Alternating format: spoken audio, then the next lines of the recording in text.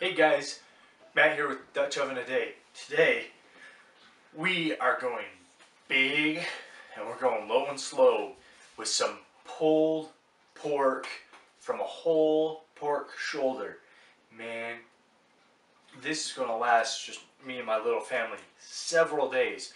So what I'm actually going to be doing is today, we're going to do our dry rub and we're going to do our cooking.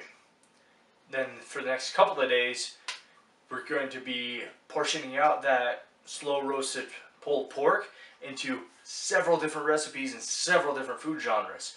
So, welcome to Pulled Pork Week at Dutch Oven a Day. All right, let's go ahead and start building our dry rub. Oh yeah. So, we are going to start with brown sugar upside down. We're going to use quarter cup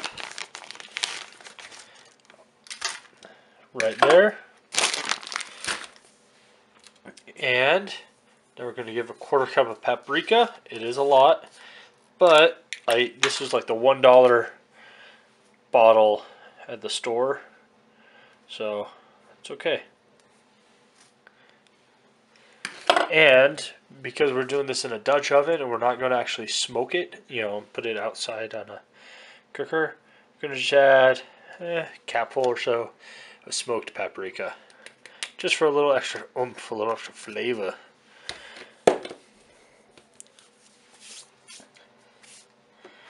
We need an eighth, uh, eighth a cup of black peppercorns. I'm going to eyeball that and I'll add that last after I freshly grind it all. And where did I put it? There we go. I'm going to do a tablespoon or two of garlic. Get my drawer open.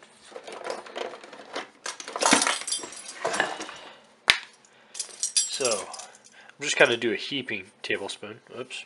Or like that. Overshoot. That's fine. And we're also going to do a tablespoon or two of onion powder. Again, dollar bottle.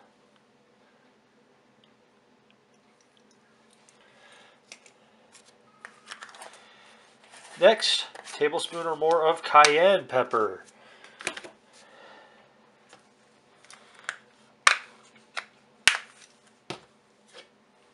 Cayenne is spicy, so if you like things with a little extra kick, you know, go ahead and go more. You know, you got people that are sensitive, go ahead roll less. Got to use my big container cayenne pepper now. Bust this open. Should have planned ahead. But hey, this kind of stuff happens on Test Tuesdays, right?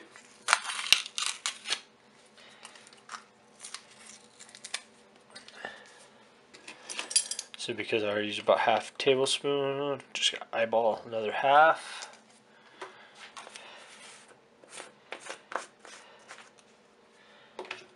Then a quarter cup salt. Of course it calls for coarse salt. I don't have coarse salt. So I'm going to eyeball just about eighth a cup of regular salt. The coarse takes up more room which is why I cut it down for the finer salt. Next, I'm just going to mix this all together, and we'll go ahead and rub it down mm, onto our pork roast, pork shoulder. So, here is our finished dry rub. smells smells really good. Smells almost like beef jerky, actually. Uh, it's all that fresh black pepper. And I've got this in a bowl, and I'm actually going to heavily put, you know, put it on.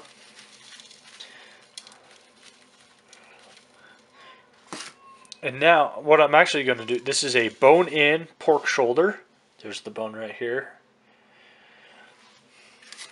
I am going to, you know, give a nice thick coating of the, the rub. And I'm going to, this bowl, uh, it's got a lid. And we're going, I'm going to just put the lid on and let it kind of marinate overnight. in the in its in this dry rub. Okay.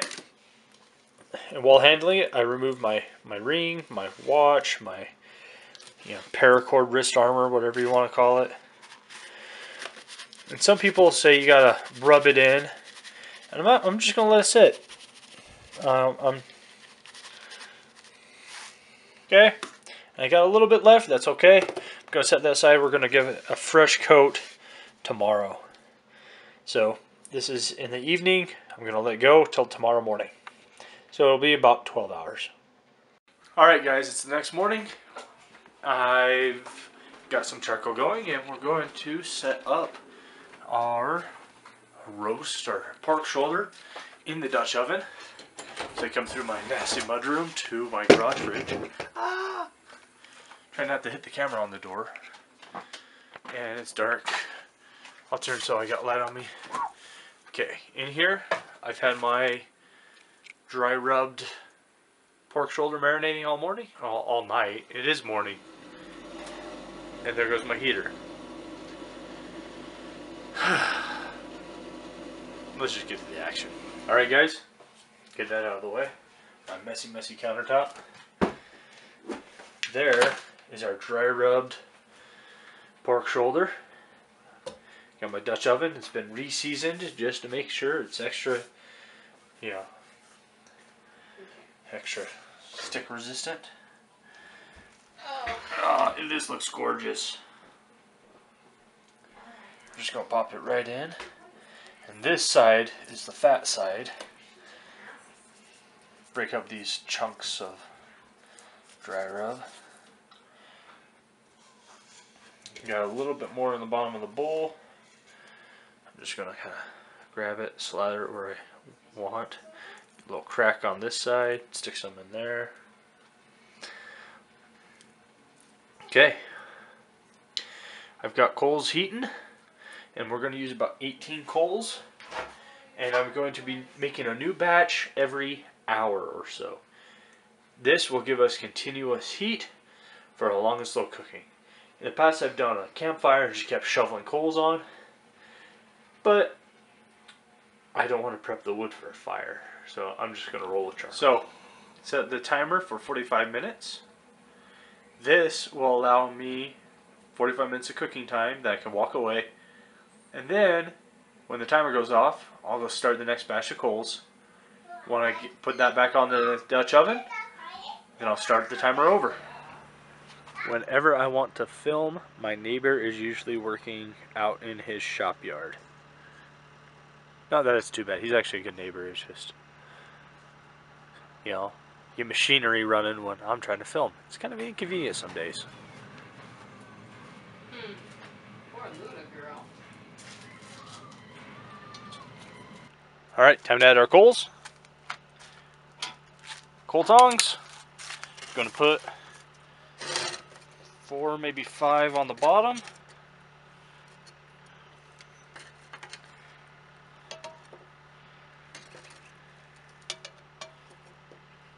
Okay. Pour the rest on top.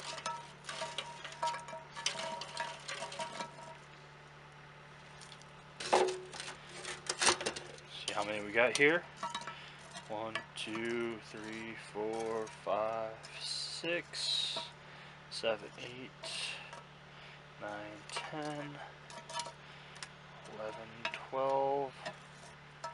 So 12, 13, something like that on top. Again, we're going low and slow, so that's why we don't have as many coals as I usually do. Hopefully, this will be cooked in make sure we're in focus. Hopefully it will be cooked in two to three hours, going low and slow like this. All right, you probably are also hearing the wind. As soon as, it figures, as soon as I got started cooking, man, that wind really picked up and it's been making this charcoal just, whew, like, you know, get used up a lot faster than I thought it would. It's been four hours of cooking.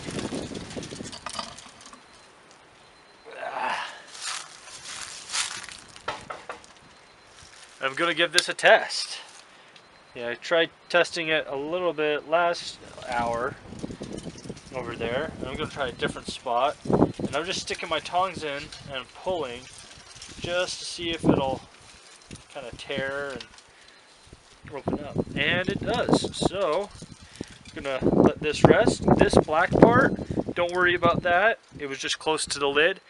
And this is actually that fat cap that was on the top when we started cooking. And that's going to get peeled off uh, before we pull the pork. So let's go ahead. I'm going to let this rest for about half an hour. Let all the juices do their thing. Let some carryover happen. And then we'll go ahead and try to shred this. Alright guys, we brought it in. And again, it's time to pull this pork. I've let it cool just a little bit. See this kind of blackened bit? That was the fat cap. And if we do things right, get some tongs and a little fork here, we're just going to peel that right on off. The, any real good fat that was in there would have you know melted down, kind of basted the meat. A lot of it's the sauce down here. So don't worry, don't think of it as losing anything. Because that's not something we were going to want to eat anyways. Alright, now to pull it, go switch hands here. Just grab what you can and peel it off. Now, see how it's just kind of pulling there? Just gonna push and turn, push, turn. I'm just gonna keep this up until you know I'm ready to to go. Until it's thoroughly shredded. Now this could have gone a little longer, probably softened up a little more. That's okay. And if we've got to eat it chunk style, that's also a popular barbecue way. If we got to slice it, that's cool too. But man, this is going to be some good, good eating.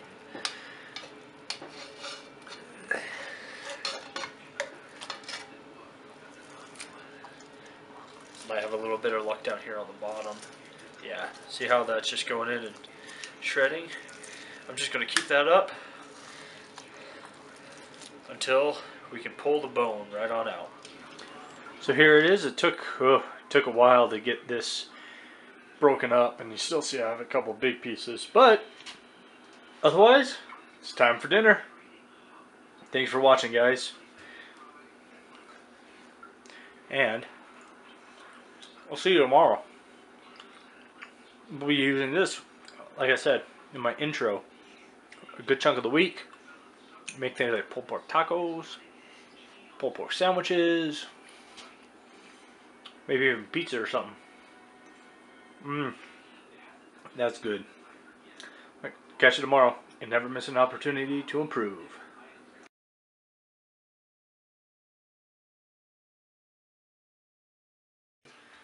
Hey guys, Mat here with Dutch Oven today. Why am I saying that again? This is a continuation, not a new video. Cut.